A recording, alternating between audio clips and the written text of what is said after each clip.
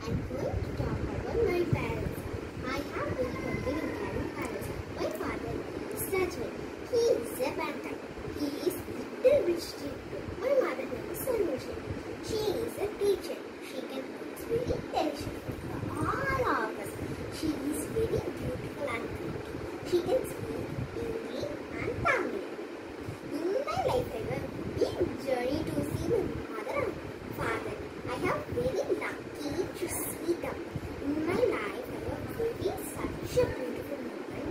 I want to share with you.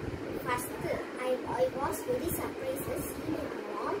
I in first I I will I I sleep on her lap.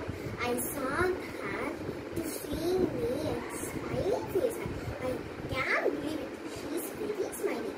I think.